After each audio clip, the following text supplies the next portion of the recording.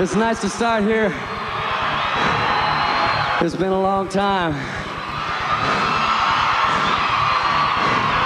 Here we go.